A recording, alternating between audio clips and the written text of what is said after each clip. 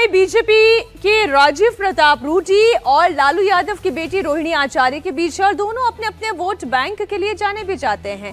BJP का अपना vote bank है, रूडी का अपनी एक पॉपुलैरिटी है और लालू यादव की अपनी एक पॉपुलैरिटी है। अगर सारण के जातीय समीकरण की बात करें तो यहाँ पर सबसे ज़्यादा 25 प्रतिशत यादव वोटर्स हैं। तेईस प्रतिशत राजपूत हैं, बीस प्रतिशत वैश्य वोटर्स हैं, जबकि तेरह प्रतिशत मुसलमान वोटर्स और बारह प्रतिशत दलित वोटर्स की आबादी है। आरजेडी की रोहिणी आचार्य मैदान में है, यानी कि मुस्लिम यादव वोटर्स आरजेडी के कोटे के।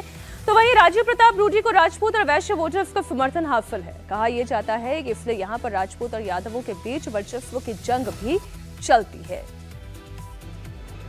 छपरा में कल रोहिणी आचार्य एक मतदान केंद्र पर गईं। वहाँ पर बीजेपी और आरजेडी के समर्थक पहुँच गए। रोहिणी का आरोप ये था कि यहाँ पर गलत तरीके से वोटिंग हो रही है। लेकिन बीजेपी के समर्थकों ने कहा कि ये बिल्कुल झूठा आरोप है। रोहिणी मतदान को प्रभावित करना चाहती हैं। दोनों के समर्थकों के बीच झड़प होने लगी, पथराव हुआ, पुलिस पहुँची, मामला शांत हो गया। लेकिन तनाव बना रहा।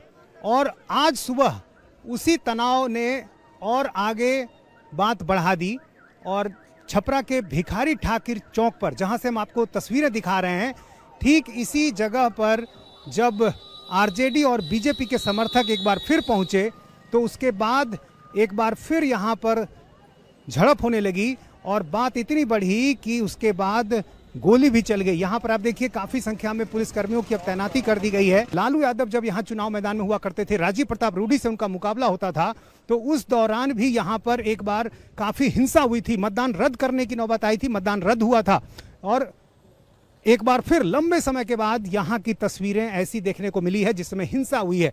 और उसका नतीजा ये कि वोटिंग के ठीक एक दिन के बाद छपरा में काफ़ी तनाव हो गया है।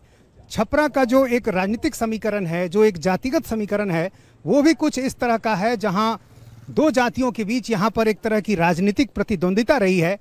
यहाँ पर यादव वोट करीब 25 फ़ीसदी हैं और 23 फ़ीसदी जो हैं वो राजपूत वोट हैं।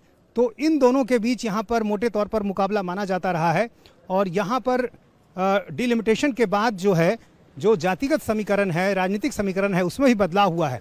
तो ऐसे में यहाँ पर इन दो जातियों के बीच का जो मुकाबला है, वो यहाँ पर हमेशा तनाव लाता रहा है। तो ये जो भिखारी ठाकुर चौक है, इसी चौक के ठीक बगल से एक सड़क जाती है।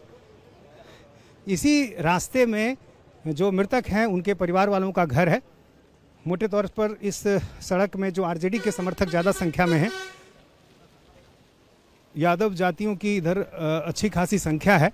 तो इसी रास्ते में उनका घर है और अभी थोड़ी देर पहले पोस्टमार्टम के बाद जो शव है, वो यहाँ पर पहुँच चुका है और पुलिस ये चाह रही है कि सब कुछ शांतिपूर्वक संपन्न हो जाए और उसके बाद फिर जो जाँच की प्रक्रिया है वो आगे पूरी की जाए।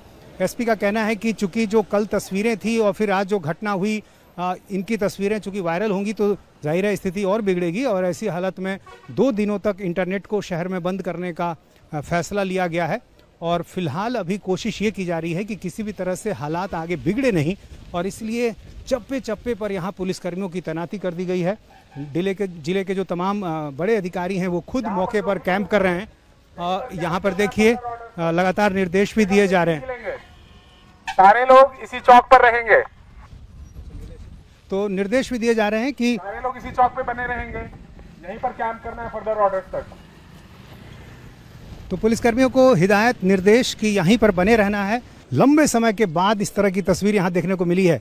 बिहार में चुनाव में हिंसा पिछले कई चुनावों से नहीं हो रही है थी। और एक अच्छी तस्वीर बिहार से पेश होती थी। हालाँकि छपरा में इस तरह का तनाव पहले होता रहा है, जब लालू प्रसाद यादव और राजीव प्रताप रूढ़ी आमने सामने हुआ करते थे तो छपरा में इस तरह की हिंसा, छिटपुट घटनाएँ होती थी और एक बार मतदान को रद्द भी किया गया था। तो छपरा को लेकर आशंकाएँ ज़रूर थी, लेकिन मोटे तौर पर बिहार में शांतिपूर्वक मतदान देखने को मिला है और बिहार की जो पहचान एक पहले थी, एक समय वो भी था बिहार का, जब यहाँ बूथ कैप्चरिंग हुआ करती थी। और जिस तरह से हिंसा होती थी, कई लोगों की मौतें होती थी, लेकिन ये सारी बातें काफ़ी पुरानी पड़ गई थी।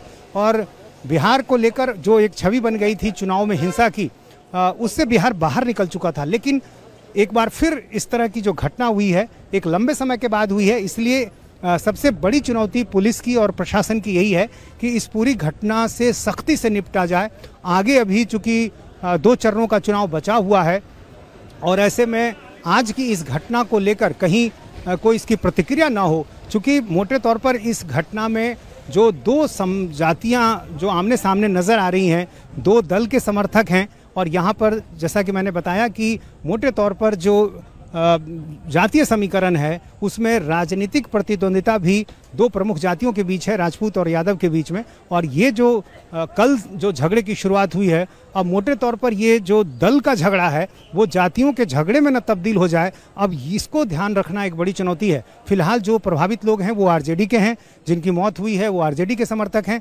और देखना ये है कि अब लालू यादव और उनकी पार्टी इस घटना को लेकर आगे क्या रणनीति बनाती है, चूँकि देखिए अभी सामने चुनाव कई चरणों का बचा हुआ है और चुनाव में इन बातों की काफ़ी अहमियत होती है कि जातीय समीकरण प्रभावित ना हो, कहीं दूसरी सीटों पर उसका असर ना पड़ जाए। तो इन सारी चीज़ों को देखते हुए ज़ाहिर है अभी जो राजनीतिक दल है वो अपनी रणनीति बनाएँगे और फ़िलहाल अभी स्थिति जो है यहाँ पर संभाल ली गई है, स्थिति यहाँ पर बेहतर है, चूँकि काफ़ी संख्या में पुलिस को तैनात कर दिया गया है।